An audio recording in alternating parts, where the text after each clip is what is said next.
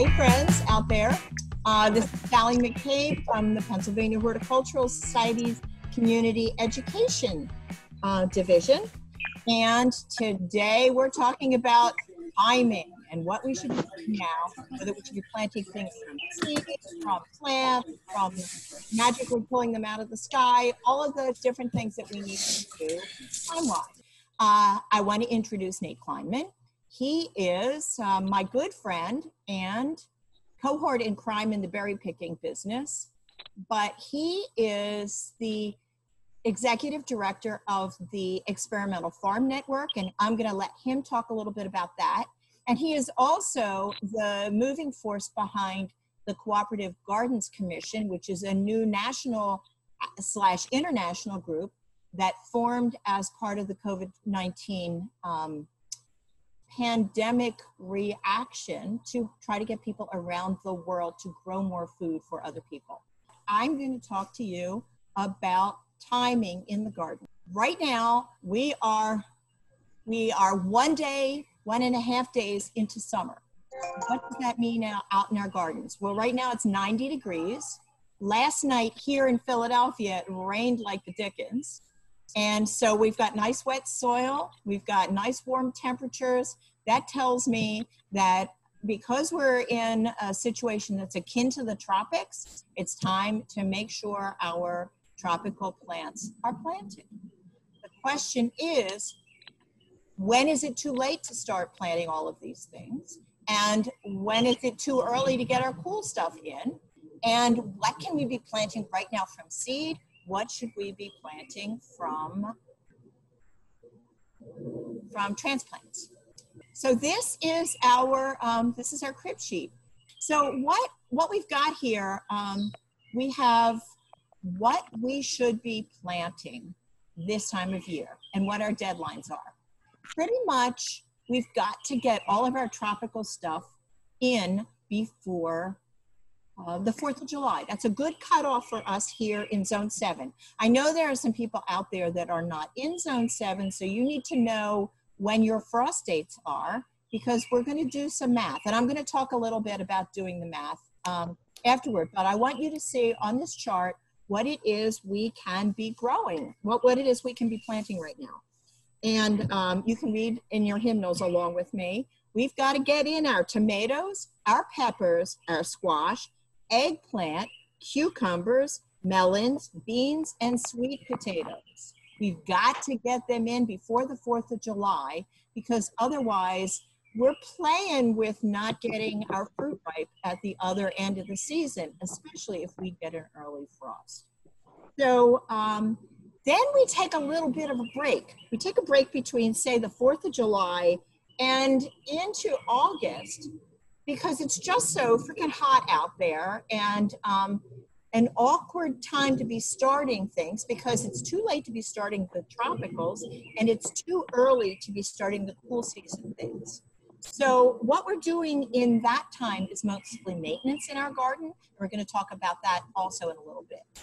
Um, after and when we cut when, when we're still doing workshops in august you'll be here i hope and um, we'll talk about getting our um, our fall crops started but then we start in around august and up until october that's when we're starting the things like we can plant collards again radishes carrots turnips the greens and then our heading crops like cabbage broccoli cauliflower those things. But we don't want to be planting them now because it's just too hot and the ground is too hot. And uh, we don't, we, we want to wait. But um, in that little piece of time, what we can be doing is we can be starting things indoors. So we might start um, our fall crops indoors. Why would we do it indoors instead of outdoors? Well, because we can actually maintain the temperature better indoors and these are plants that need lots of, um, they need ventilation, so they need to be kept cooler than 90 degrees as they're, as they're starting. So we could be starting um, our fall crops of collards, um, the broccoli, cauliflower, um, cabbage, those, those cold crops we could be putting in indoors to get little transplants so that come August, when it's starting to starting to cool down a little bit, which is kind of a joke, it's not really, but um, that's when we want to start getting them in the ground. So in the time between the 4th of July and the 1st of August, that's when we're starting to do our things indoors. The train is coming. So um, have we found Nate yet? I hope so. Can you hear me? Yes. Okay. Um, I would like to um, to let Nate talk a little bit about. Um, first, I want him to talk a little bit about the Experimental Farm Network, and um, and then a little bit about the Community Gardens, uh, the the Cooperative Gardens Commission, and then I want you to know that this guy is a pro and he's a farmer, and so he knows all of this stuff. So he knows uh, how important timing is in all of the stuff that we're growing. So I'm going to turn it over to you to uh, sing your own praises there, Nate. Go. Thanks, Sally. I'm glad I got the memo about wearing purple today too. Um, so uh, my name is Nate Kleinman, and um, as Sally said, I, I um, I'm co-director actually of the Experimental Farm Network. Uh, we're a nonprofit that's based in Philadelphia. Um, sorry, you're on my phone now because the computer wasn't working. Um, we're based in Philadelphia, but I farm in South Jersey in a town called Elmer. Um, we are our purpose is to uh, facilitate collaboration on sustainable ag research. So that means we have a website, experimentalfarmnetwork.org, and at that website we um, anybody can create a project and recruit volunteers to help them out on their project. A lot of what we do are plant breeding projects, especially with a focus on developing perennial crops that can help us uh, transition our farming system to one that will help fight climate change instead of being one that drives climate change as the current system does. So we're working on things like perennial grains, perennial oil seeds, um, things like that. And uh, we also are a seed company. So if you're interested in um, seeing the seeds that we that we offer, a lot of them are heirlooms from from the Philadelphia area, uh, like the old Campbell's soup tomato. Um, we have a uh, Nanticoke squash we sell from the Nanticoke people in Delaware and, and New Jersey and Maryland. Um, that website is efnseeds.com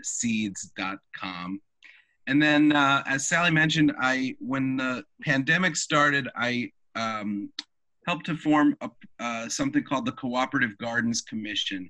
And you can find that website at coopgardens.com it's um, basically the purpose is to, to help people get the resources that they need to grow more food this year we realized early on there, there was going to be a shortage of seeds as people were panic buying seeds just like they were panic buying food um, and then obviously the regular supply chain disruptions that are going on um, are, are really troubling. And with the general economic downturn, all the people who are um, relying on, on aid to get, uh, to get the food that they need, uh, we figured as many people as we could get to grow food, the better. So we've been, uh, one of our big projects was taking in donations of seeds from seed companies around the country and then shipping them to seed hubs around the around the country. We have about 250. We think that the donations we took in will um, will end up in about 10,000, maybe 12,000 gardens this year.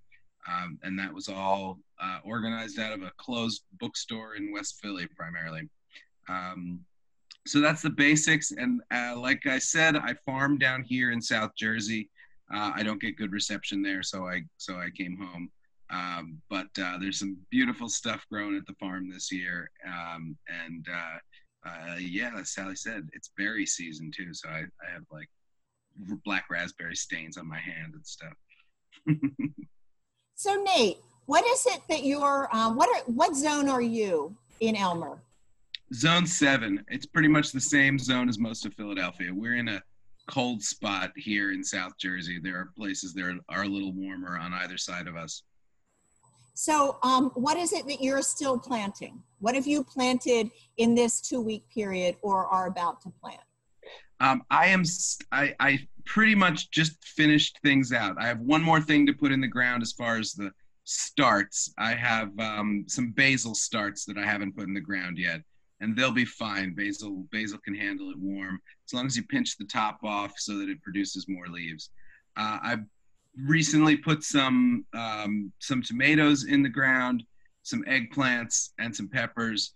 Uh, those are all things that I started months ago, uh, but they're doing well right now. Um, I'm still planting some seeds. I planted seeds for some some more tropical type uh, legumes like cowpeas and mung beans. Um, I know those aren't very typical garden crops, although cowpeas are a wonderful dual use crop, uh, also known as black eyed peas. But you can eat the leaves, they're very rich in protein, they taste good raw or, or cooked. Um, you can eat the pods like green beans, you can eat the beans when they're still ripening. Definitely recommend that one. And um, I just planted a little bit of sorghum as well, which is getting late, but I wanted to get it in the ground. Thank you. So what um what I would like, I want to follow up on something that Nate just said, and that's about planting uh, planting transplants. So here's my um, my basil plant, which has been in the pot, but it's going to go into the ground. And what uh, what Nate had said was he's pinching the tops out. So I'm going to pinch out a little bit more than the top. I'm going to pinch down to the first good branch because this is going to be in the dinner tonight.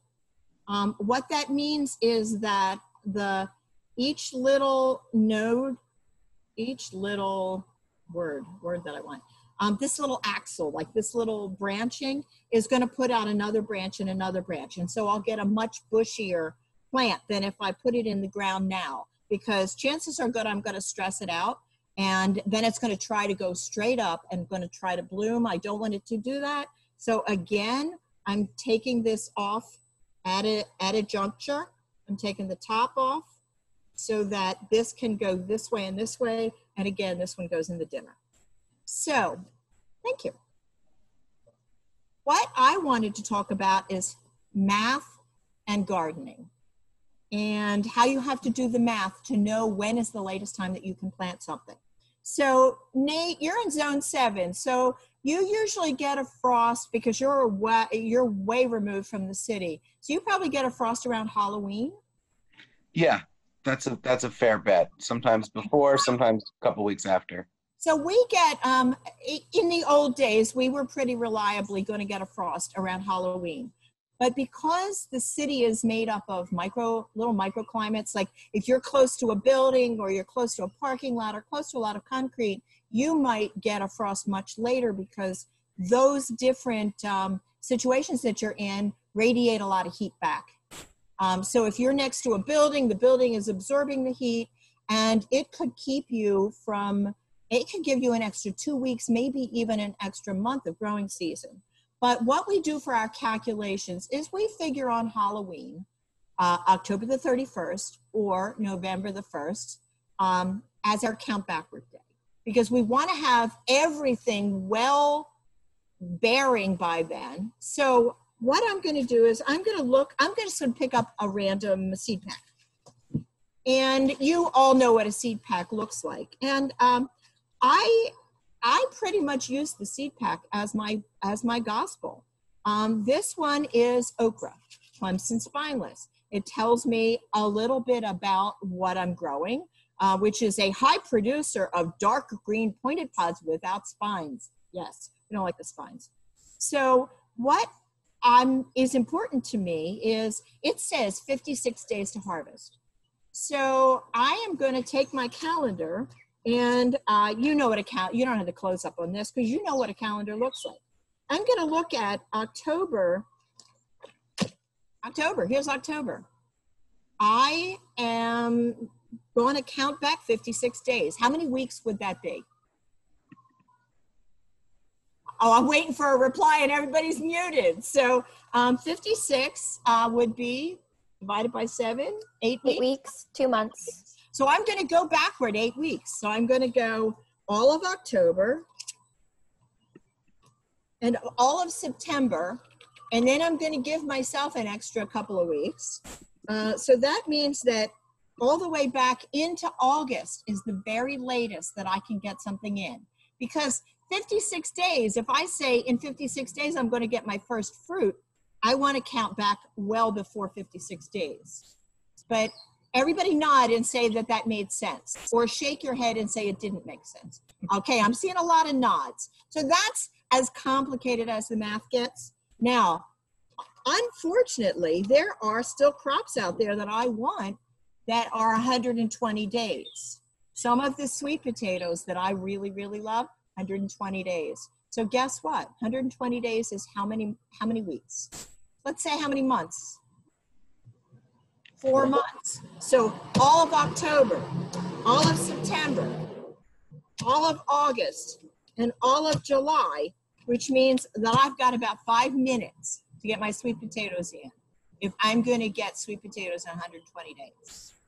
So You got, that's you got a solid week. You got a week to do sweet potatoes. I haven't I haven't planted my sweet potatoes yet either. Shame neither I'm- of us. So um, I'm going to race you. I'm going to get mine in by Thursday.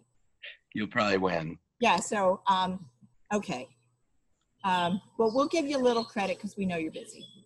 But I have I'm planting. I think I'm planting five different kinds of sweet potatoes, like 100 and 150 plants. So it's going to be a lot. okay. All right. Well, maybe I'll help you. Maybe I'll come. Maybe we'll all bring the whole class down, put our masks on, keep our distance, and help you plant your tomatoes. I mean, your sweet potatoes.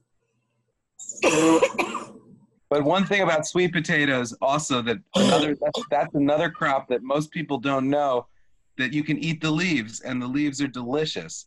You can cook them, you can eat them raw. Some varieties taste a little better than others, but they're all edible. The growing tips, the, the youngest leaves are the tastiest. And um, and if you and if you if you cheat and you only have hundred days or ninety days left of the season yet, you're still going to get sweet potatoes. They're just going to be smaller than if they'd had a whole time 120 to mature. Well, I um, we're going to come back to the edible leaves in a minute, but I I have to tell you, I did know that. Um, I learned that I was in a garden in West Philadelphia with some Liberian women, and they were going. They had the sweet potatoes growing in a whole bed, and they were going and breaking off the stems and sticking them in the ground, and breaking off the stems and sticking them in the ground, breaking them off the stems and sticking them in the ground. And I said, "When do you get the potatoes? How do you get potatoes if you keep doing that all summer?" And they looked at me and they said, Potatoes? They said, No, we eat the leaves. So they were growing them mainly for the leaves, and the potatoes, which aren't really potatoes, but they're sweet potatoes, that were growing under the ground were what they saved to plant again next year. So that they did not eat them, they saved them to replant the following year. So uh, I ate a lot of, I've been eating a lot, eating a lot of sweet potatoes since then. I Saw We have some question. good um we have some good sweet potato questions and comments that people are dropping in the chat. Well, So yeah, Cassidy. well, Young Mai is here today and she's saying that um she eats the sweet potato leaves too. And if you try to buy them from the Asian market, they're actually expensive. So it sounds like you're better off growing Well, them on your what? own. Um, and then Peggy is wondering, um, is it just sweet potatoes that you can eat the leaves, or is it any potato? Well, Nate, Just what else sweet would you eat? potato. What else do you eat the leaves of? Well, first I want to be clear. Only eat the sweet potato leaves. Regular potato leaves are poisonous. They are no good. Sweet potatoes and potatoes are very, very different. Uh, sweet potato is actually a kind of morning glory, believe it or not. Uh, and you'll notice the flowers. If you ever see a sweet potato flower, they have these pretty morning glory flowers.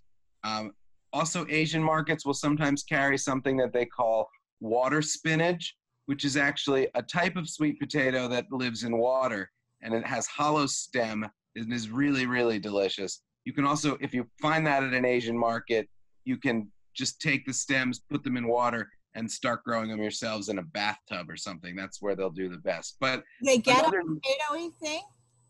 it doesn't make much of a tuber, no. Um, but it, but the leaves are delicious, and that's often the most expensive vegetarian item on a menu if you go to a Vietnamese restaurant in, in South Philly.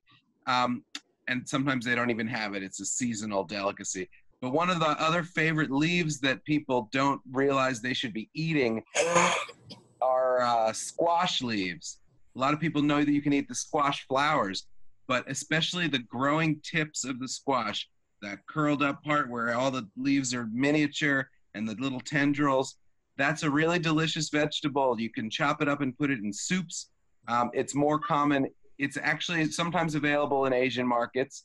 Uh, there are Asian folks who eat that, but it's a it's more common a food in uh, Mexican cooking.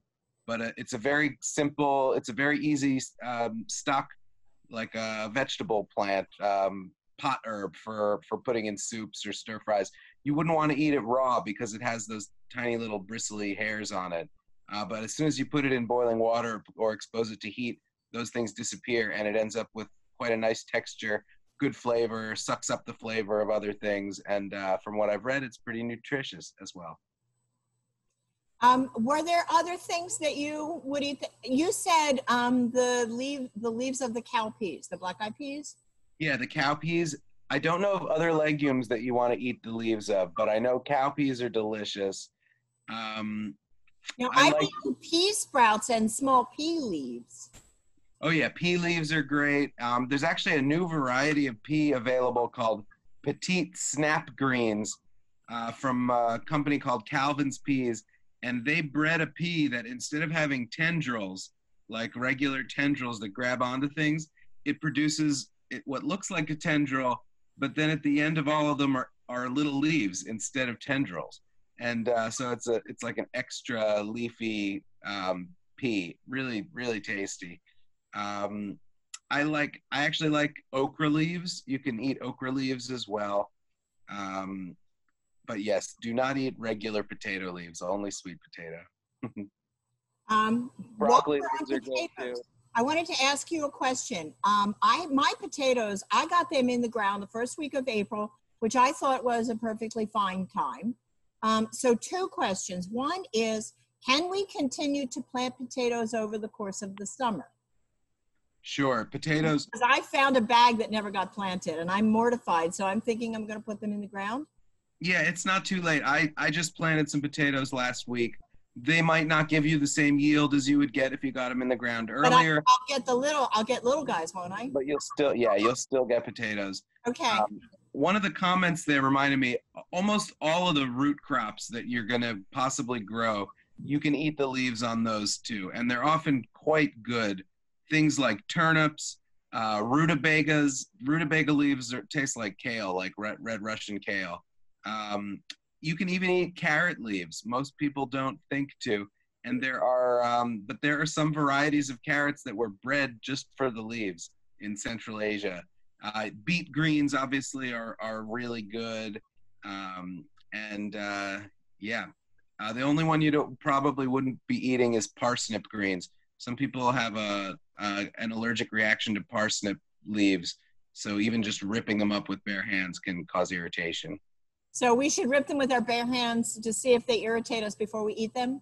Just once, sure. Okay, just once. okay, the other potato question I had for you, since you're Mr. Mr. Farmer and we have you captive, um, I have noticed that on some of my potatoes, I have flowers, and now the flowers have made tiny little tomatoey looking things. Tell me about them.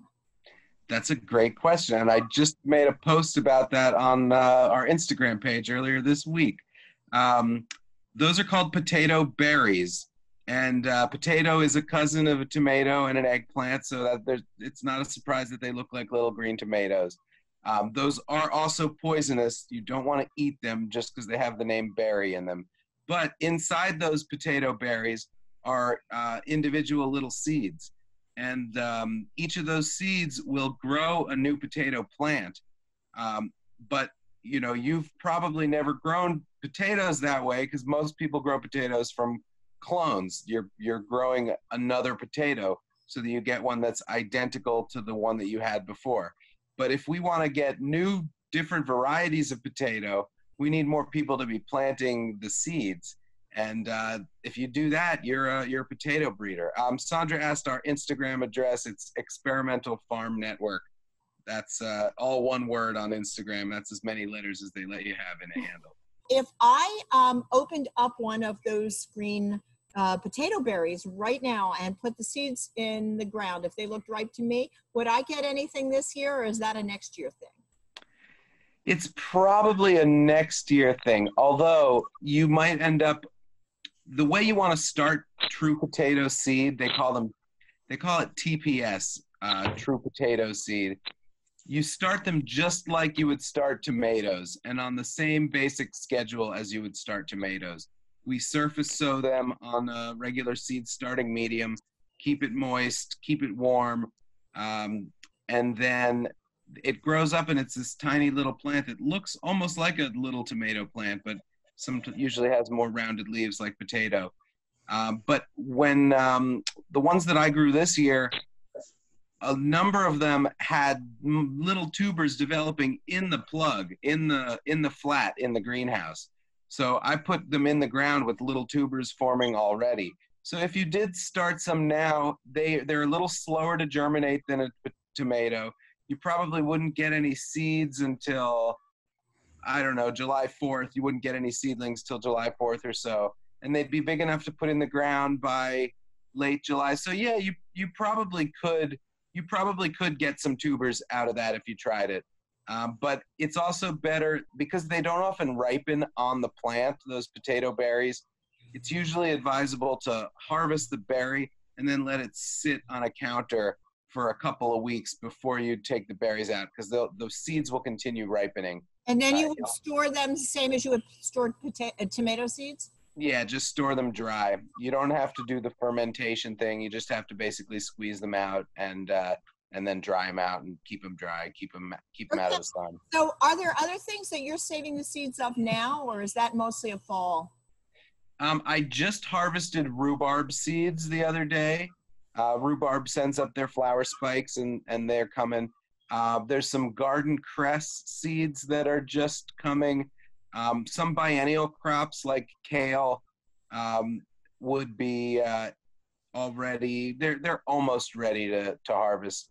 Uh, we grow something called Dietrich's Wild Broccoli Raab, which is one of our favorite crops. I harvested those seeds almost a month ago. that, that's a, will that reseed itself, or do you have to save the seeds from that? That is self-seeding, but we we sell seeds for that, so I have to collect a whole bunch in order to have them to You sell. to. But I didn't plant any this year. All I do is I I weed around them where they're grow where they're not in in uh, you know um, where they're not coming up where they're going to cause a problem for another plant. So I have a bunch of parts of the farm right now where I see good patches of the wild broccoli raab coming up.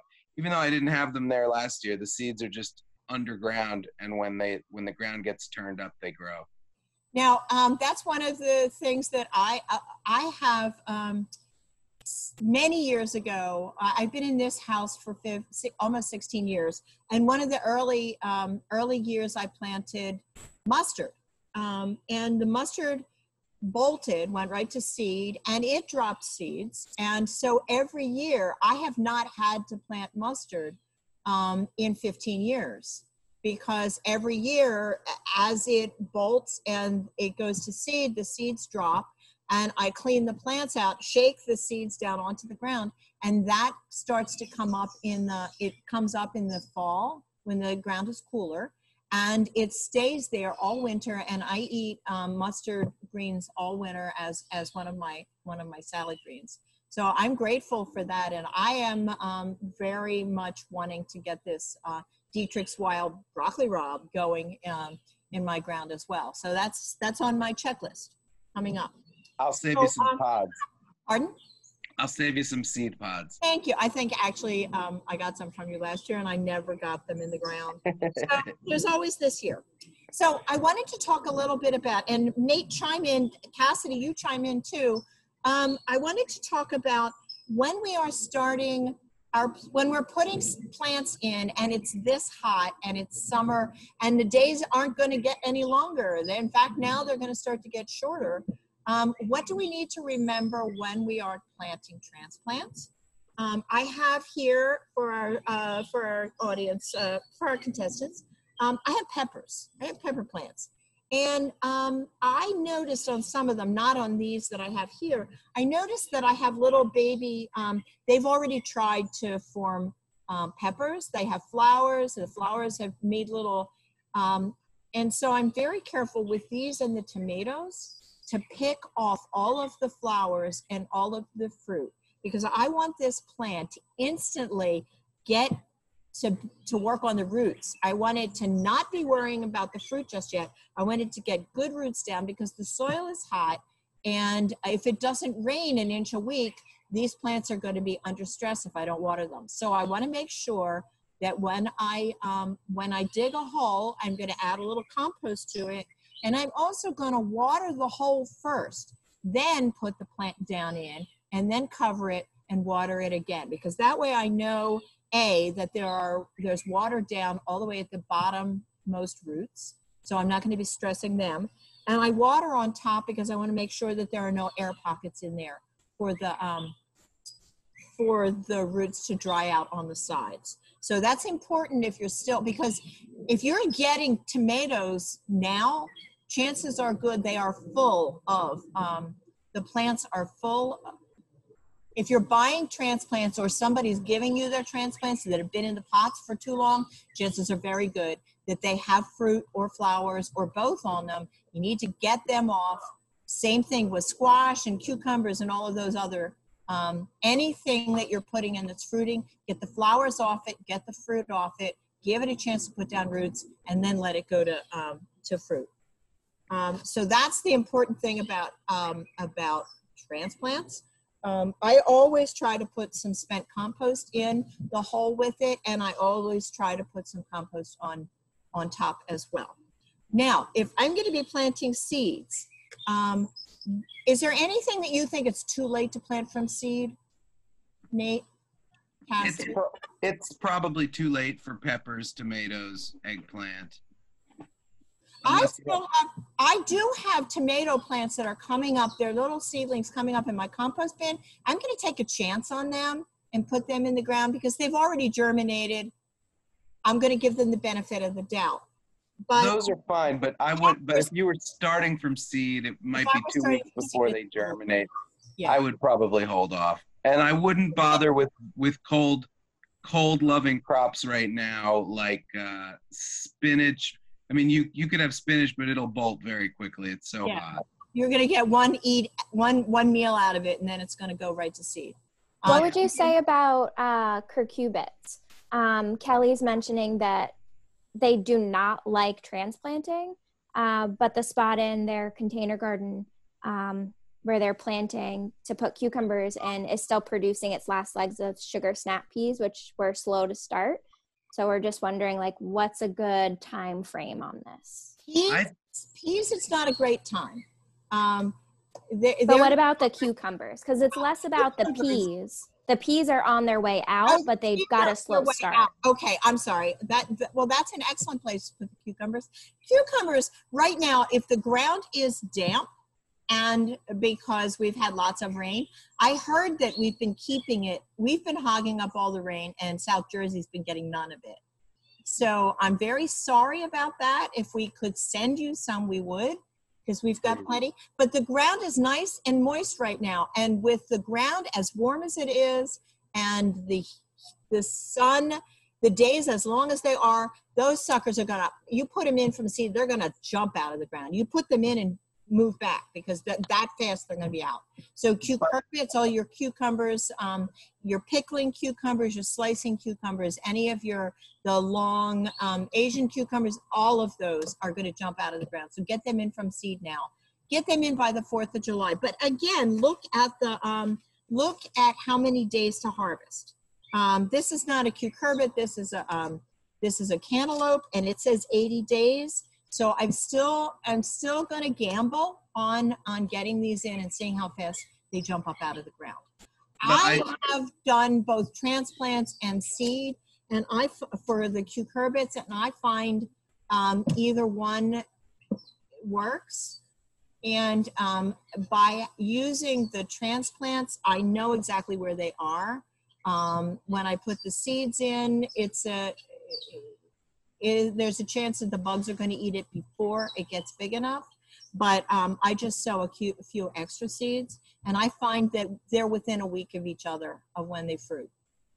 And Um, I I have uh, I've had similar experiences. I hear people say that cucurbits don't like to be transplanted, but in my experience, that's overblown. I well, I'm growing I'm growing some of the prettiest cucumbers. I've ever grown from transplants this year. Yeah, I mean, if they, if you had them in a pot and there are six of them in a pot and you're dividing them to put in the ground, they hate that. They really hate that. But if you've grown them individually in pots, um, then you're just going right into the ground. And as long as you keep them watered, um, they should be fine. But what happens when they're in the pots and they get stressed because you went a day without watering them, they're going to try to bolt and they're trying very hard. That means they're trying very hard to flower and fruit before they get to full size. So you what you're doing is you're planting an already stressed plant and they hate that too. So um, get them in the ground from seed now because you still have time to do that. Actually, you could get um, get you could probably stretch the season to July 15th to get them in. Fourth of July is, but you could probably stretch it, uh, especially some of the shorter season pickle pickling cucumbers because they're they don't need they they start to develop fruit much sooner. Because we're talking about timing, I wanted to talk about putting in seeds right now. Um, remember I said dig the hole, water the hole, put some compost in the hole, and then put the transplant in? Well, I'm going to do the same thing with my seeds. I'm going to dig either my trench for a row or my, my hole. If it says a quarter inch, I'm still going to go deeper because the ground is, uh, the surface is, is, it's hot. So I don't want to burn the seeds out. I'm going to plant them a little deeper than it says to plant them. In fact, I would, if I'm going to plant beans, which I'm going to do after this class, um, I'm going to dig a trench a little bit deeper than I would put them. So I'm going to give it an inch or two, put some compost in the hole, water the water the hole or the trench, put the seeds in, and then close it up. Because I'm not worried about air pockets with seeds. Um, what I'm worried about is if I water, um, if the ground is dry and I water, I'm either washing away the seeds or I'm making the the ground muddy on top of them, depending on how clay or uh, organic your soil is. I don't want to put a crust above them and have them have to fight harder. So I'm going to dig the hole or the trench. I'm going to put some mix some compost in there. I'm going to water the hole or the trench. Then I'm going to put my seeds in and fold the soil in over it. Um, that's what I find seems to work when I'm this late in the season getting started. Um, what I can't stress enough though is that there is never a wrong time to start a garden. There is always something that you can be starting whenever it is that you get started. So don't be discouraged. It's like, I didn't get my garden started and it's the 4th of July. Well, you got a whole fall season ahead of you to get everything in. So never feel like it's the wrong time to start a garden. It is always the right time. So um, I wanted to make a quick mention of the other things that are going on in the garden right now. Um, and chime in on this, Cassidy um, and Nate. Right now, we are being inundated with spotted lanternfly. Um, the little guys, I mean, they're always here. They're always on my, walking across my monitor. They're everywhere. And right now they look like, um, they're black with white spots and they are, um, how big, you've seen them. If you haven't seen them, you're not looking. Um, what are people doing right now to try to deal with them? A lot of different things, but the bottom line is, and uh, please chime in on this, Nate, um, the USDA admits that they don't kill the trees, they don't kill the plants. What they do is economic damage because they damage the fruit. So um, if they're on your trees, they can damage the fruit, but chances are next year they won't be there. We're, we're going to cross our fingers on that. I have never seen the volume um, of a bug like this since the um, gypsy moth back in like 1986 because Shauna was a baby um, when they ate all of the pine barrens. Pine barrens recovered, but I've never seen this many bugs as uh, since then. As I've seen the caterpillars, yeah, as I've seen of the um, of the uh, spotted lanternflies. So people are spraying them. They are a sucking insect. So by that means we would usually use an insecticidal soap on them. Um, they are not chewing on things, so neem oil is not really doing it. Um, people are putting Palmolive in a spray bottle and spraying them, not good for your plants. If, however, they're on the weeds, spray the heck out of them because who cares if you damage the weeds? Um, I have them on my grapevine, that's a problem. I don't, I also have them on the porcelain vine, which is like a wild grapevine, and I don't care about that, so that I would spray the heck out. So, do you need to trap them? Do you need to smash them? Do you need to kill them? Not really. It's just that we're so overwhelmed right now by them, it feels like they're a plague. So, um, Do you know, Sally? Do you know if any of anybody who's tried diatomaceous earth on them? I wonder if that works. um, it's hard to get it on them because it's heavy. So, um, Hmm. could you add a little soap to it? Little soap, not detergent, soap to it to make it as a sticker and then uh, put it in a spray bottle, diatomaceous earth? Um, I don't know. I think it's I- the powder. If you, if you have like a shaker, like like talcum powder. Then you can shake it onto them as a dry powder. We use that for a number of other insects.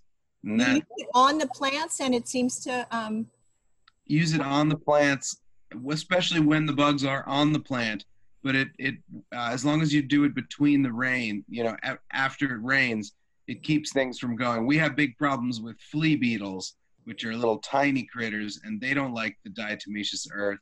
But then also some other um, sucking I- insects like Colorado potato beetles or munching insects like that. yeah, okay. and uh, stink, Okay, so we're gonna, uh, we're gonna look into that. Uh, young May, if you're out there, you look into that and report back next week. Okay? And um, thankfully, You may you may have the rain in Philadelphia this year, but South Jersey has no. We my part of South Jersey still doesn't have the lantern flies. So Oh, like, crossed you- well, away. I'll tell you what. If we're gonna pipe our water to you, we're gonna pipe you some uh, some spotted lantern flies as well. Um, that sounds like a threat. like a threat. That was a, that was a, an offer. It's like, okay, well, i we want to share, so we'll bring you all of the stuff. Um, the other thing that we are, I mean, I am sprayed to where I'm slippery with um, with mosquito repellent because right now prime mosquito season, and what are we supposed to be doing about that? We got to make sure there is no standing water anywhere, anywhere um, because they are breeding. In, there, there's a spotted lanternfly now walking across the top of my computer. Um, uh, we're trying to deal with the mosquitoes. If you have water reservoirs that you cannot get rid of because it's, um, you know, it's a small pond or it's your water barrel for your garden, you need to make sure that you're using some kind of um, mosquito bits or donuts or something like that.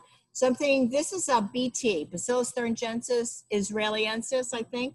Um, it is a very simply dumbed down um, because that's how I explained how I understood it. It's a bacteria that they eat it and it makes them stop digesting. So the baby mosquitoes eat this, they can't deal with their digestion anymore and they die. So um, I have no objection to interrupting the life cycle of the mosquito because I uh, get I get chewed up and I don't like that. So we need to be dealing with our mosquitoes right now, and this is one of the good ways. Um, we need to be as much as possible as we plant our new plants. Um, like I'm going to be planting squash probably tomorrow, and I get um, I get squash borer in my squash. I get um, cucumber beetles in my squash. I get bugs in my squash, and I don't love them. So what I'm trying to do, I'm going to try to be proactive. I'm going to plant my squash, and before they even come up out of the ground, I'm going to put hoops down and I'm going to cover it with insect netting to make sure that the adult bugs are not coming in and laying eggs on my um, on my baby crops. Now, what's going to happen is as I'm growing, as the zucchini grows, the cucumbers grow, as all of them grow, they're going to get so big that they're going to not want to be inside the cages that I'm putting them in. Cages also help to keep the groundhogs out, not wood. Um, I want to keep them covered until they're well into flowering.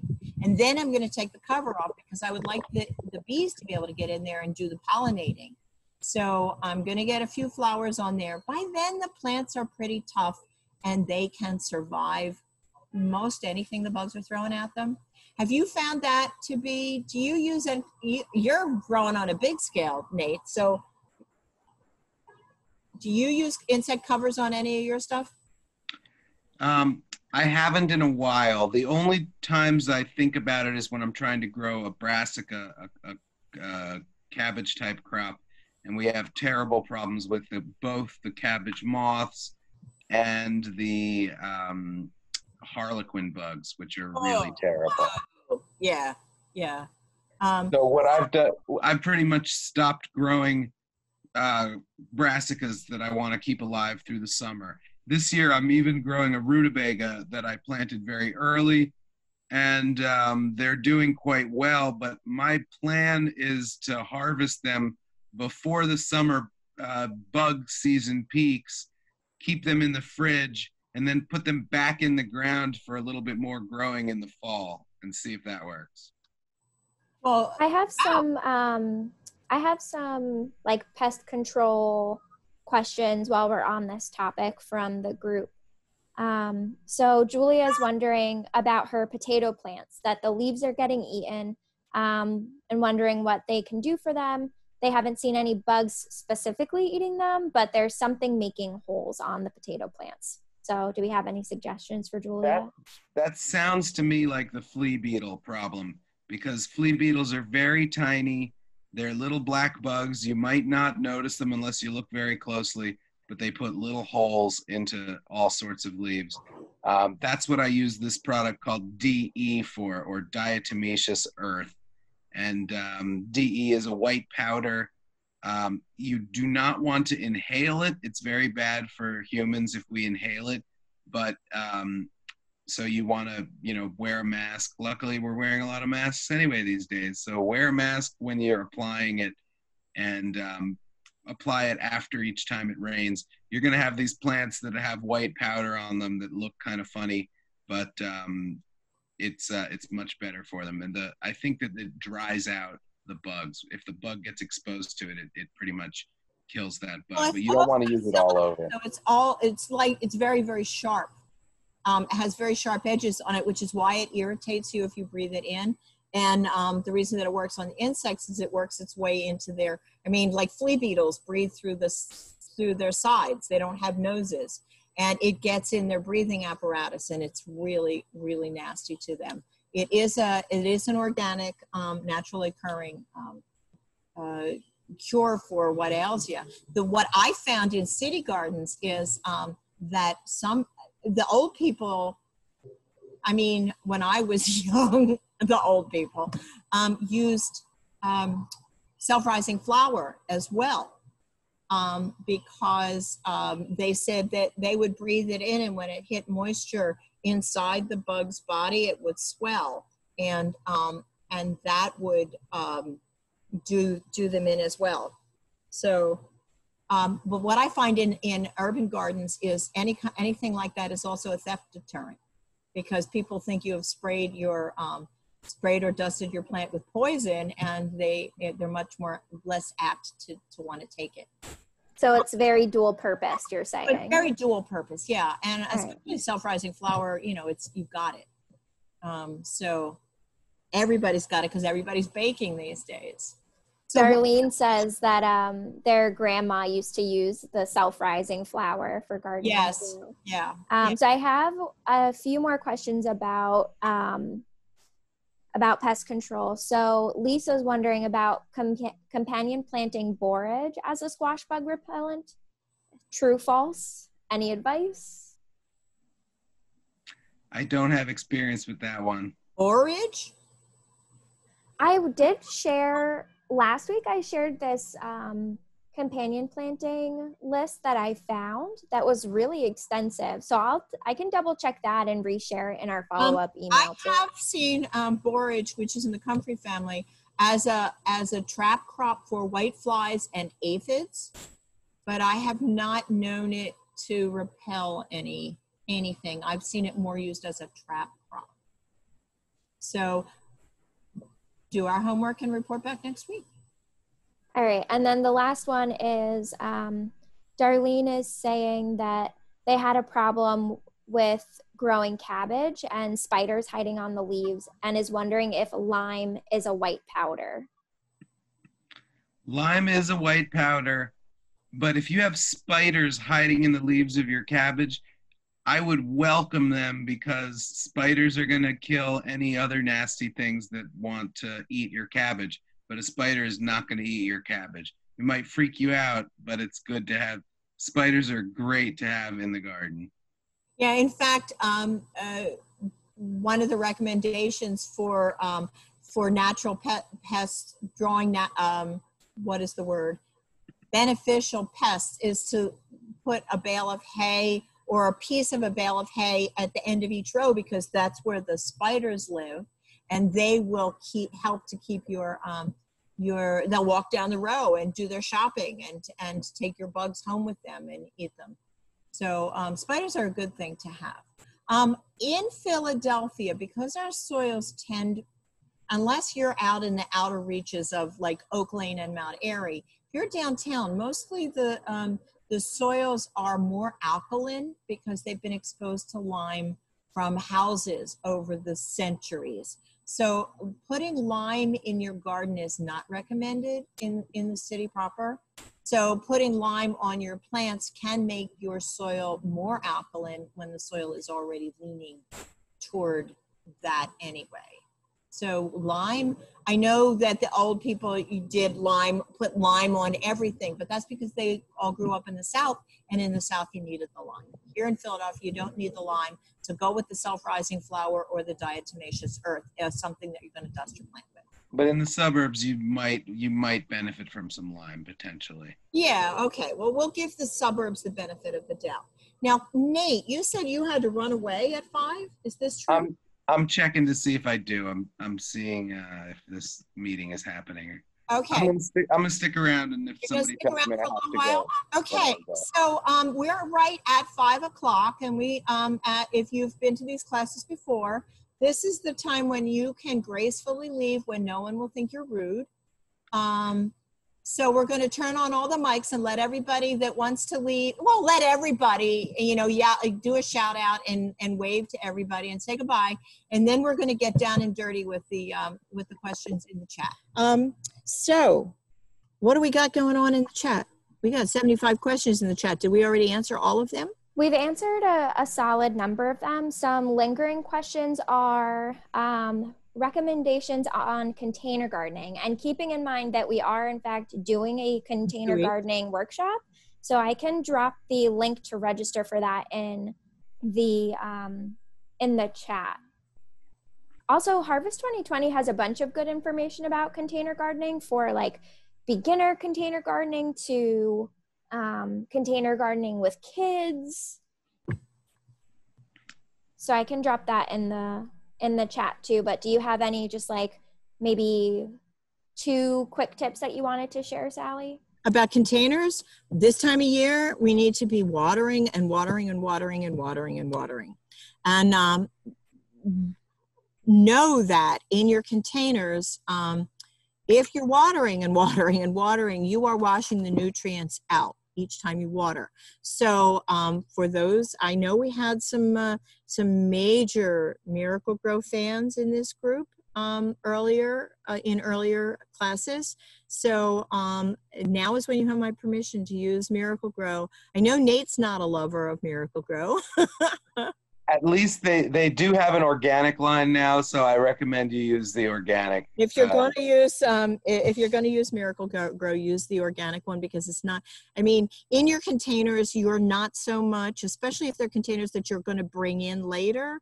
You uh, want your soil to be fairly sterile, so you're going to have to introduce um, um, some kind of fertilizer. I use in mine. I use my worm bin compost. I I take uh, worm compost and then worm tea the the goopy stuff that drips out the bottom i take that i mix it with water and i water my my plants with that um That's all we use too. I recommend if you can find someone a place that sells worm castings, they call it, or or compost tea. That's what you want to use.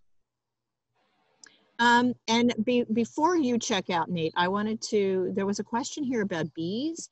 And if you have beehives in your garden, what are your options for using pesticides? Um, if you have bees, you you just want to be very cautious when you when you um, when you use anything.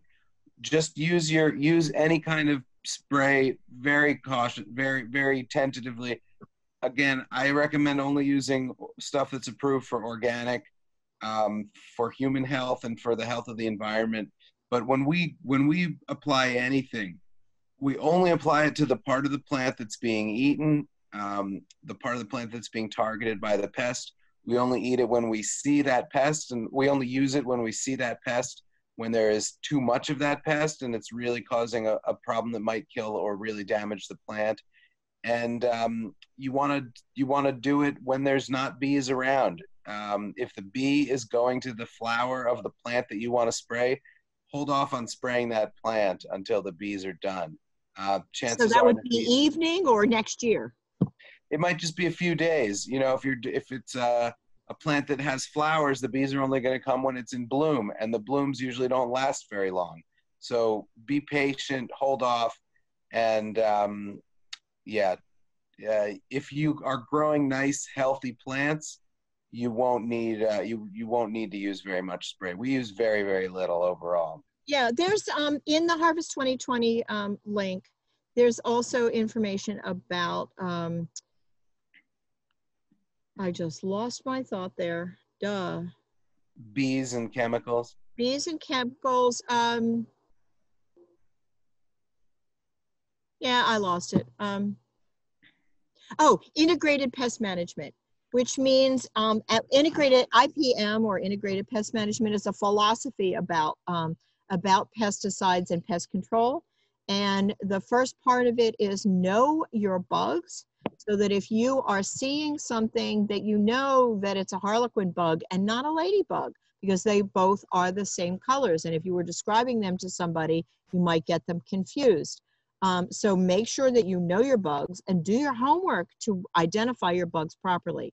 Then find out when are the bugs most vulnerable because if um, if right now we're dealing with thousands and thousands of um, spotted lanternflies, if we can catch them in our traps, then they're not developing into the adults. So maybe they're more vulnerable when they're babies. Maybe that's when we're spraying them.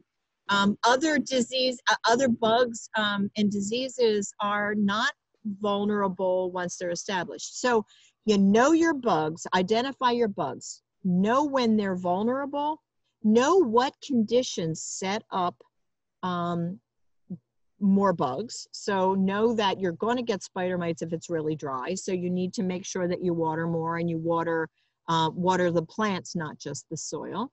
So knowing the cycles, knowing the time when they're most likely to be there. So like Nate said, he plants his cold crops early. He harvests them before the harlequin beetles get back.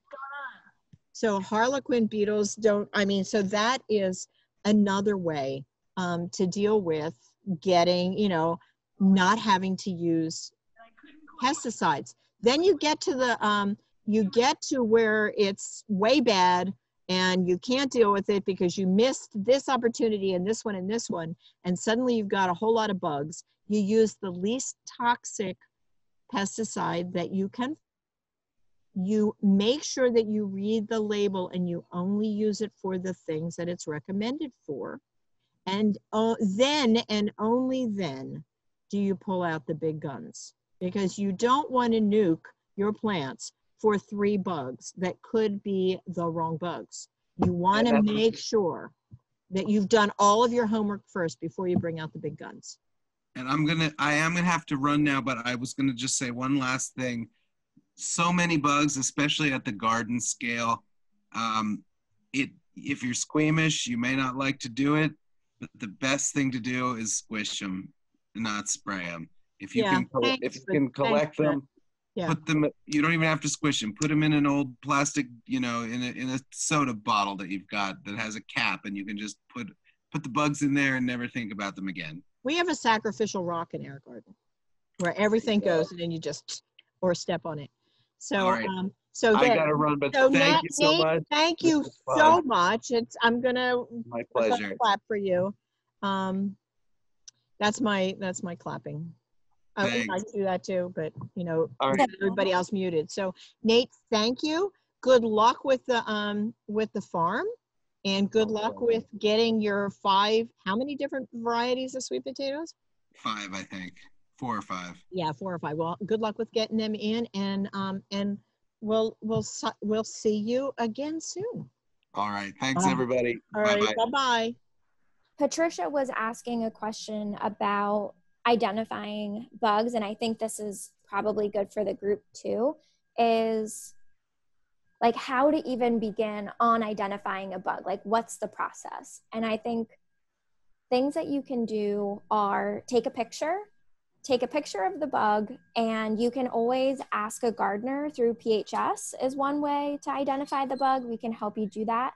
Another app that people across the city have been using is iNaturalist, where you take a picture, you upload the picture, and through crowdsourcing of other people that are also using this app, um, people will help you identify it.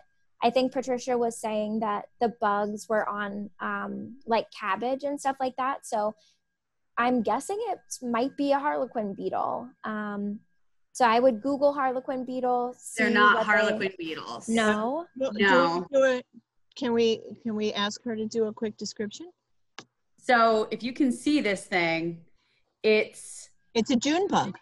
it's a what? It's, uh, there are two, it's either a June bug or a grape beetle. A grape. It's got spots. I can, I can't see. It me- does. It's light. It's light brown or rust colored, depending on the the bug. And they're only in my cabbage and collard greens, and nobody at the food bank knew what they were. They are, um, grape beetles. Grape beetles, and are Yes, they harmful? Are they eating your collards and broccoli? No, but there's like a eat- million of them. Yeah, that's weird. Um, it's a, it's a weird year for everybody. Okay. those are grape beetles and you could um, you could look them up and see i mean they're not even considered um, to be uh, economically uh, damaging to grapes so but Okay, so I don't need to worry about them. commonly Pick 'em off found on grapes. Okay. so thank you. check them out um, Stephanie is saying that Seek, S E E K, is also a great app for species identification. And uh, they think that they are actually partnered with iNaturalist, which is the one that I mentioned earlier. So I would check out both of those apps. on Cassidy, they might be eating something on her plants. That's why there's so many of them there. So you might want to change their name to Bee, Bee great, Beneficial great Beetle. oh oh i like that You know, why Uh, are they there? they are related to the june bugs um, i don't know if you know june bugs but we used to they're about this big and we used to take them and we would tie a string to their legs and we would fly them around when we were i mean it takes you kill a lot of bugs to make a naturalist so um, i'm not going to feel guilt about that but we used to we used to fly them around because they were big they were big and stupid and they would like fly into your face uh, when you were outside so you would get them and you would uh, and you can probably do that with them uh, but just please you know untie them when you're done and let them go. Okay cassidy All right. Sally, do you want to talk about using coffee grounds as compost? People mention that a bunch in the oh chat. i uh, i do that all the time i like i like coffee grounds they're um, they break down really fast and they my worms love them um i somebody showed up somebody was at the starbucks and they bagged them up for her and left uh, they bag them up and leave them by the door and you can take them and put them in your compost they're particularly good for um for uh, for worms because the worms love them and chew them up quickly because they're very small. You can also just throw them in your compost bin. Um, they are a, an okay source of nitrogen. Um, they are not i mean we used to say oh they're acidic because coffee is acidic. Um, uh, and they would make your, if you wanted to acidify your soil, you would side dress, which means spreading it on the outside, um, on the surface of the soil and scratching it in a little bit, or you could use them loosely as mulch. But um, it, we found out that they weren't, although coffee is acidic, coffee seems to take the acid out of the coffee grounds. So they're not that acidic. So use them as compost, dig them into your soil, or feed them to your worms. I don't make tea out of them and water my houseplants with them, although some people have suggested that. And it's like, why would I just not pour coffee on them? I, I don't want them, you know, staying awake at night.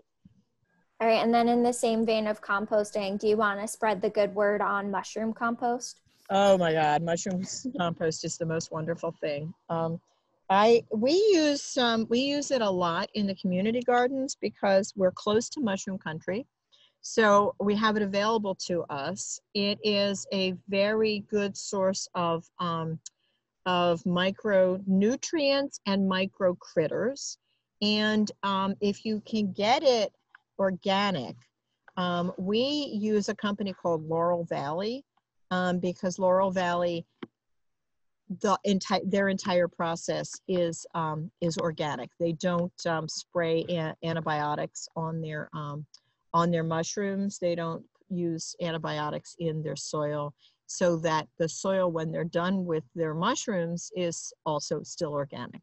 So, um, and they've been certified organic for many years, and we we love we love them. What I what I found is that um, the problem is though they will only bring you like 30 cubic yards or 20 cubic yards, so you need to buy a lot of it. Um, so what we have found is that many of the garden centers and landscapers around the Philadelphia area and um, Chester County do use theirs, specifically use theirs, um, so that you can get a mix of, um, of topsoil and um, mushroom soil from most of your, um, your folks that deliver smaller amounts. Sweet. All right. So, next question. Hannah's asking um, I recently got a few flowers on my jalapeno plant and they almost all dropped overnight, hoping to get some advice.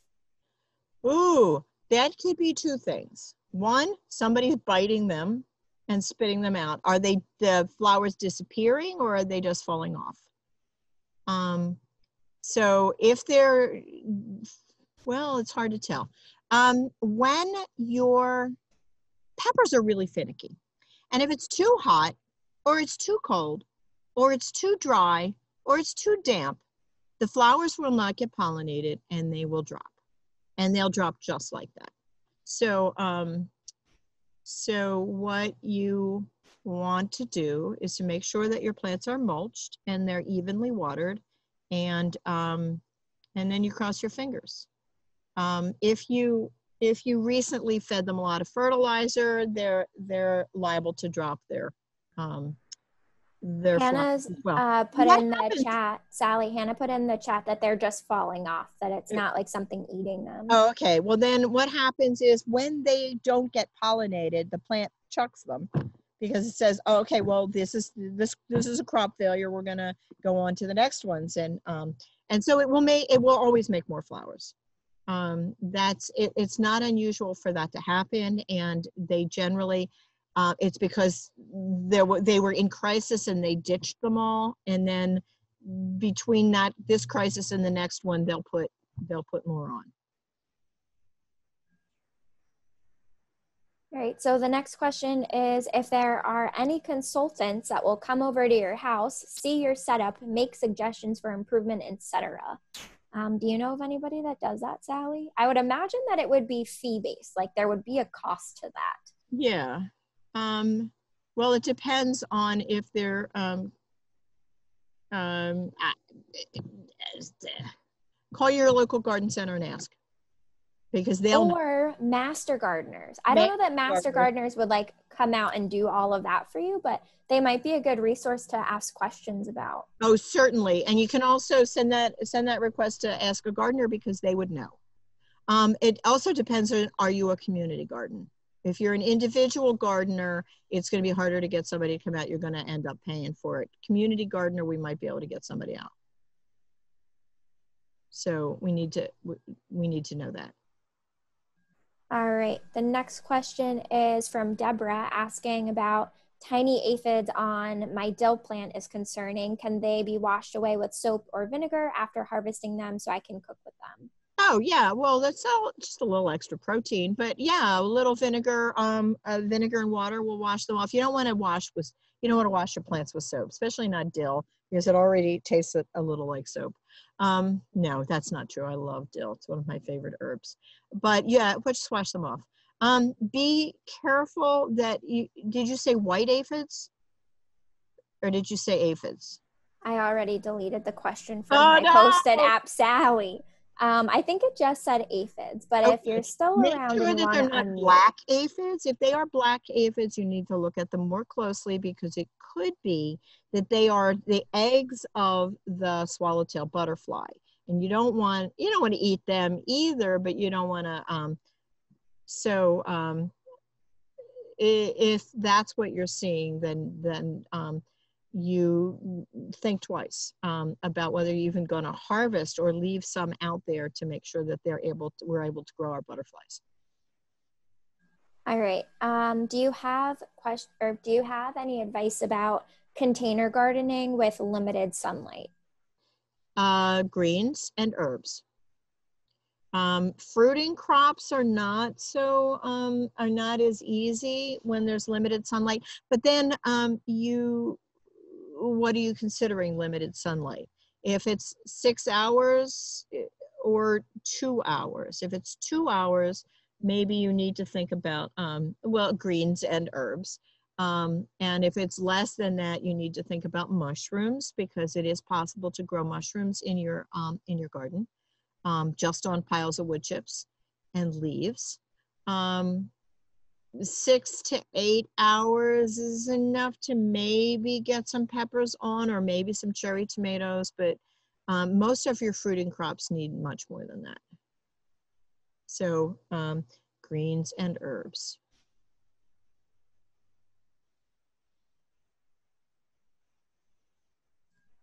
Someone had mentioned in the chat that they found uh, small mushrooms in their in a bag of potting soil, and they're wondering if the soil is still good to use. Oh, the soil is fine. It's just being broken down by fungus. Um, but don't try to eat the mushrooms unless you really know what they are. But as far as them being in, it's not. Um, it's not uh, detrimental to the stuff that you're growing. It's just one more way that stuff is being composted.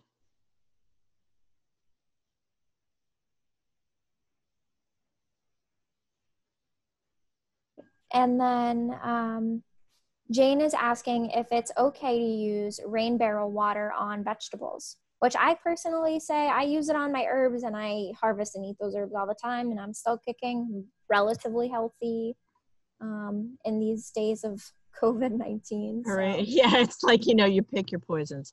Um, the water department says no, you should not use it because of the, uh, the chance of E. coli, which means a bird pooped on your roof and the poop washed down into the water and is now in your rainwater.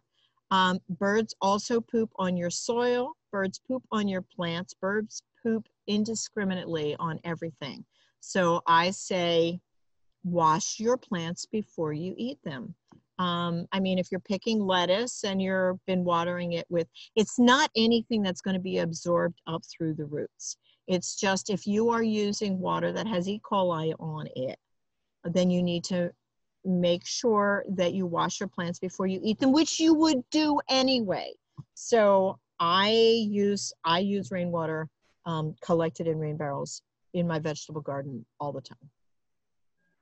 We use it in the community garden too. There are so many community gardens that rely on rainwater.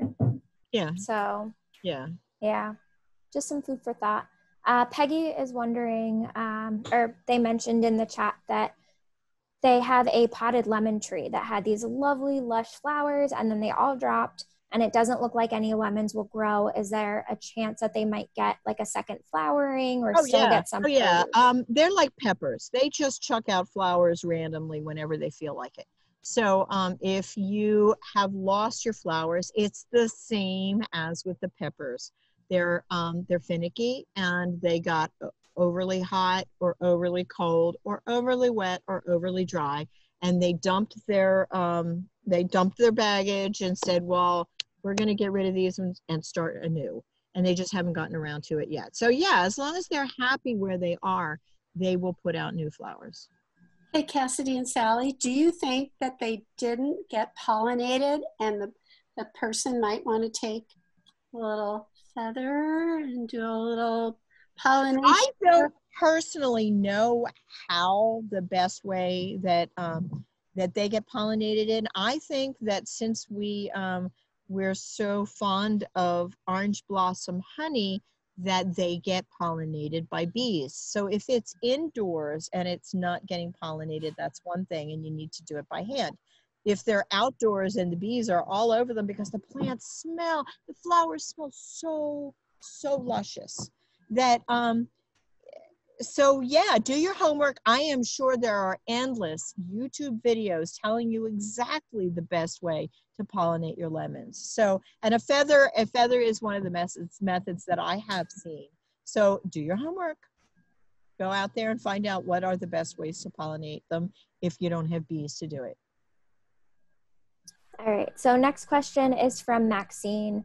Uh, Maxine mentioned that they don't live in Philly, um, but they do community garden at a garden that's partnered with us through PHS. They're wondering if they can still get soil or I'm I'm guessing maybe horse manure from from Parks and Stables. Um, yeah, yeah. Um, as far as I know, we are the the um, horticulture center and the recycling center still have both. Um, so you can. Um, I think we talked about this before. Um, you can make an appointment to go to the recycling center, and they will load you with compost or chips or whatever it is that you are asking for. Usually, they do have manure there from the police stables. Um, if you are not using an open back truck, you can go to the horticulture center. Um, that's the one that's near the Japanese house. Um, you can go there and they're not checking ID at this point to know if you are in the, you know, a resident of the city or not. They're not charging, they're just letting you come right up to the piles. I don't know if they have piles of manure there these days but I think that they're planning to open again in July. And at that point, you can go and collect your own stuff. But take somebody from the city that you know that lives in the city with you, in case they ask you for ID that says you live in the city. Um, Or I I wonder if there's a way to just drop that you garden at a community garden. no, they ask you your They do. Yeah, they do ask you your address. So you just say, "I'm just the driver." They're the and uh, and use their address. Or if you've got mail, you know, if you work in the city, um, that if you've got mail to sent to you at work with a Philadelphia address on it, you can use that too. Sweet. Um, okay. Sonia is asking about um, any advice on beginner gardening um, and what they should attempt to grow first. I think it's like what what are you what do you want to eat? what do you want to eat? And just try that and try and learn as you go. Um, and then I will say again, the Harvest 2020 program is really well built out for beginner gardeners, and there are a ton of links about like what are things that are easiest to grow and how to grow them and spacing and all of that information. So Google Harvest 2020. I think I also put the link in the chat if you scroll all the way to the top um, and just kind of poke around there and you can find some good stuff. But also coming to these workshops because they're all meant for beginner gardeners. Yeah, yeah, and we're only two weeks in, and uh, so we've got another four weeks to go um, on these, and then we'll, you know, we're still going to be doing workshops after that. They just might not all be aimed specifically at beginners. Uh, questions about deer. All you, Oh. Geez, uh, I'm saving those for Cassidy. Cassidy gets all the squirrel, cat, and deer questions. All the pest control questions. Oh, uh, yeah, the big pest controls. With Uh, deer, just netting. It's I Uh-huh. feel like it's the same for everything. Netting, people always talk about urine and blah blah blah. Um, Um, this is what Mike McGrath always said. Mike McGrath from You Bet Your Garden. He said, eat a big steak dinner and then go and pee all around the edges of the garden because deer have very good sense of smell and they will read from your pee that you are a meat eater, a predator, and they will turn away. Unless they're really, really tame and really used to the place, in which case you have to confuse the heck out of them with netting. Uh, you, I mean, I've seen uh, netting as high as eight feet around a garden, and plus plastic netting was enough to keep all but the most persistent deer out. But that means you got to put up really tall poles.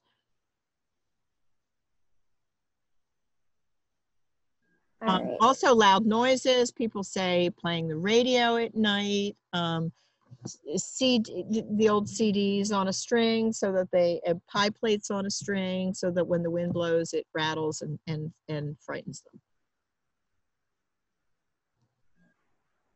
Okay, so uh, people are also asking for the information for the Fairmount Recycle Center to pick up compost and material. Uh, I would say Google it for right now if you're looking for an immediate answer, uh, but otherwise we can put it in our follow-up email. Yeah, if you were here for the, if you came for the soils workshop, you got it after, uh, I sent it to you after that. So go back and look through those, um, through that email. Um, okay, and Maxine is asking, or no, I think they're just saying you can get bell pepper seeds and spaghetti squash seeds to grow directly from the store produce. Um, that they get 98% harvest growth from this. Um, I I have found that the um, I have had mixed results. I've had some really, really, really good results. I started doing it because I opened up a pepper and the darn seeds had sprouted inside the pepper. Did you find that out? Did you ever see that, Maxine, when it did that? Um, so um, I've also seen it in seen them inside um, tomatoes and inside squash. I've seen this seeds already sprouting inside. Um, you don't really know what variety they are, so you don't know if they're going to do well here in Philadelphia area. But um, if you if they don't grow from what you've already, uh, you know, from what you would have thrown away anyway, you get your money back. Stephanie is asking about um, how to start worm composting, which is another thing that we're going to talk about in a, in a different workshop.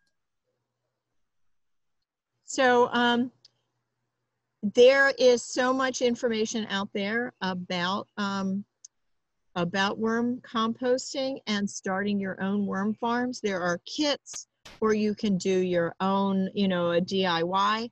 Um, lots and lots of information out there on the internet. Um, what um, my favorite place to get worms is Uncle Jim's Worm Farm um, and you can find them online. I like them because they always get me my worms on time. They always come when they say they're going to come, and they always have great sales. They also have lots of information on their website, um, including books and um, and brochures. The um, the book "Worms Eat My Garbage" by Mary Appelhof um, is the standard. It's the Bible that everybody learns on and then makes their own um, uh, adds their own style to it um, so uncle jim's worm farm and worms eat my garbage by mary appelhof All right. And then um, Peggy is wondering if the city is still offering rain barrels, that their old one is leaking and beyond repair. Okay, um, right now the rain check program is on hold because they've had, um, because they're city funded and they're, they've been drastically cut back to half of, half of their budget. So right now, they're not, um, offering new classes until they have fulfilled all of the orders. Um, because they got put on hold when the city shut down. So the city is, uh, so the group is just now re, restarting. So if you already had something on order and already did your training, then um, then you will get served. And as soon as they are done, if they have any money left over, they will restart the classes. Um, as far as replacing one that is worn out, um, depending on what's wrong with it, if it's just the spigot, you might be able to get new fittings from them by just calling. Um, if um, if it's the barrel itself that has worn out, um, uh, I I'm not sure um, what their policy is, but um, that's another thing that you could um, you could call the PHS, um, ask a gardener, and um, and they will find out for you, or you could call the PHS switchboard and um, and ask for the rain check program. Well, so Maxine uh, was able to drop their question in the chat, Okay. uh, which this is a really great question. So if anybody else had issues with the audio, or if you're not able to um, like make it one week, don't worry. The all of the workshops that we're doing are getting recorded. Um, so our web team will be editing them to like get all of the the really great information, condense it down, and as soon as we get the links from the web team, we'll be able to share it out so that if you miss anything or if you want to be able to like sit and take notes at your own pace, um, we'll get those videos to you as soon as we can so that you can just have them for your own reference too. Yeah. Um, sweet. And then uh, we have another question about tips on growing birdhouse style gourds.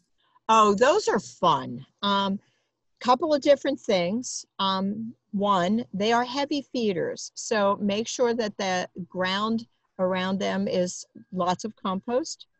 Um, you can still grow them now from seed, and um, they will they will like I said before, they will jump right out of the ground and start growing. They need to climb on something, so plant them give them a trellis or plant them on a fence or plant them on a tree, although they like to have a lot of sun, so not in the shade of a tree, but maybe on the sunny side of a tree. So they want lots of compost, they want to be able to climb. And then what you need to know is um, you're going to get a whole lot of male flowers. This is the same with cucumbers and, um, and squash as well. You're going to get a bunch of male flowers before you get female flowers the female flowers, um, you can tell the difference between, because the male flowers come on a tiny little skinny stem, and the female flowers have a fat little gourd shaped ovary behind them. So if it's a tall skinny flower, you're probably going to get a dozen of them before you get one with a fat a fat base, and those are the ones that once they get pollinated, um, will make the fruit. So when they um, when they when you start to see the female flowers and you start to see the bees all over them that's when you want to make sure that they're getting plenty of water because you want to give them that boost that it takes to form the fruit. Um, and then once the fruit is formed you don't need to water you know to be as um, you know as as fanatical about about making sure they get watered so they're heavy feeders some lots of compost um, give them something to climb and make sure that as the fruit is forming, they're getting enough water.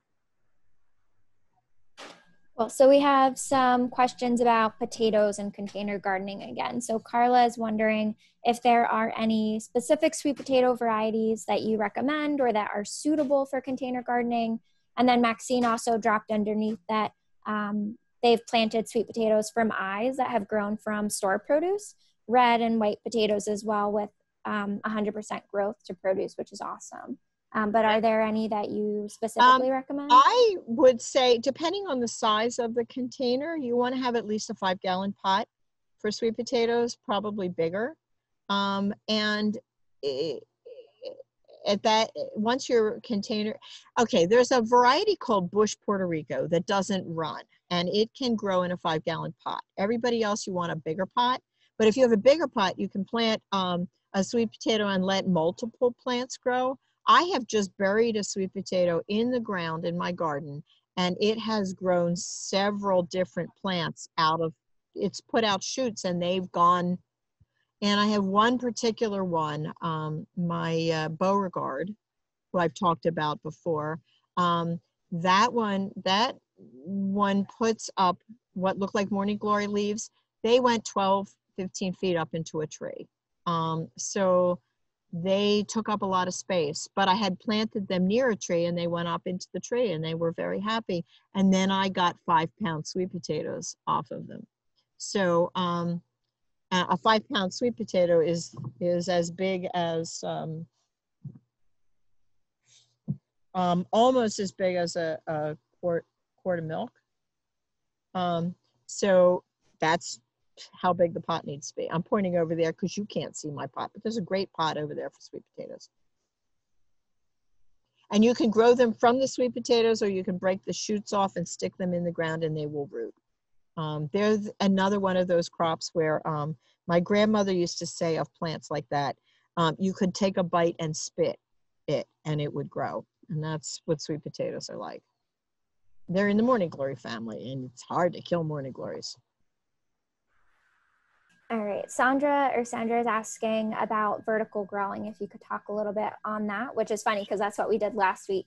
Um, but any any advice on trellising cucumbers versus green beans and just regular Um, trellis ideas? uh, cucumbers um, do um, they grow tendrils you know they grow little these things they grow little tendrils um, that will wrap around so you can grow um, you can grow cucumbers on anything like string wire they'll wrap around and hold on to that beans will wrap the whole plant around something. So they like something a little more substantial. So um, if they're going to wrap around, um,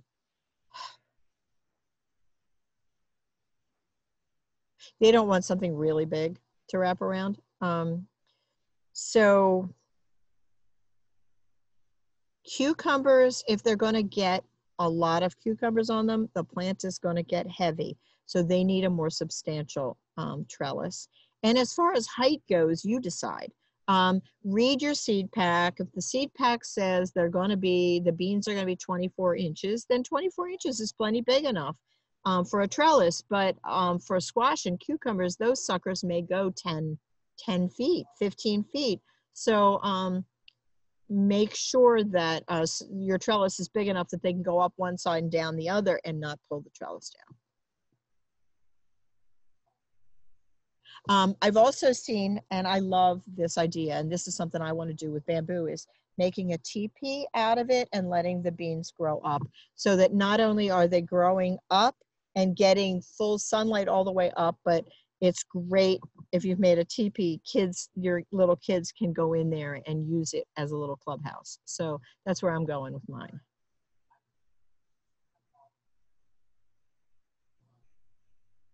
All right, and then this is the last question um, at the in the chat. Darlene is asking about growing sunflower plants. Um, it's hard not to grow them. I mean, they're not they're not hard to grow. Um, the hardest part is um, Cassidy. You'll love this. Uh, keeping the squirrels and the birds from eating the seeds out of the heads. So you plant your your um, your sunflowers, and they some of them will get to be 12 feet tall, and you might need to stand on a ladder. But what I've seen people do is um, when the um, when the flower head forms and you see this beautiful head the seeds form behind the the brown part the middle part. And uh, once the seeds start to form to put a, a plastic not a not a plasticky bag that's airtight but uh, you know uh, um, some people put um, the onion netting bag, you know, the bags that onions come in, the bags that potatoes come in, they put that around it or they put a paper bag around it, tie the bottom. You don't want to put plastic on there that's going to keep the moisture in and not allow airflow. So nothing more substantial than a paper bag. I've seen people use grocery bags that had holes in them and, and use that. But what it does is it keeps the squirrels and the birds from eating the seeds before they can uh, ripen and before you can harvest them. So Okay. that was, Uh, Lisa's also asking about a butternut squash plant has two four-inch baby squash buds, but no male flowers for the new to pollinate. Can I save them if they can't be pollinated uh, for bees to pollinate? um, the, it, the butternut squash has two four inch baby squash buds. That's like this big. Big, that big, as big as my finger. Yes. So, um, and they are, oh, the buds. Okay, so the buds are that big. Like Um, a little, a little, little squash with the flower, but no male flowers. Okay, um, are there other plants around? Because they don't need to necessarily be pollinated by the specific plant, by other flowers on the plant. So if you've got other squash, they can be pollinated by them. Um, if you don't have, um, you only have the ma- the females and no males, that's very unusual. You usually have a lot of males. Um, I have their male flowers, they haven't bloomed yet. Oh, okay. Well, then Backwards. eventually they will even out. So, I mean, if you want to, as they open them, if they're not, if they, if you know that there's no um, male flowers around um, within a mile, because bees will travel a mile and they'll bring pollen a mile, um, you could take advantage of those and stuff them and eat them. Right. Um, uh, and then wait for male and female to both appear on the same, you know, at the same time. Um, of course, you might develop a taste, and then mm, can't uh, can't stop you from that. Everybody, go out, go be, go and fearlessly garden. Don't, um, but be careful and be safe. And we'll see y'all next week when we're talking about raised beds. So um, bring your questions, do your homework. Cassidy is a saint, so she's going to send you out all of the things that we promised you um, in short order so that you can uh, you can do your homework um, and put into practice everything you learned tonight. So I'm done running my mouth. I love y'all. Go garden and uh, see y'all next week. And Cassidy, thank you, thank you, thank you.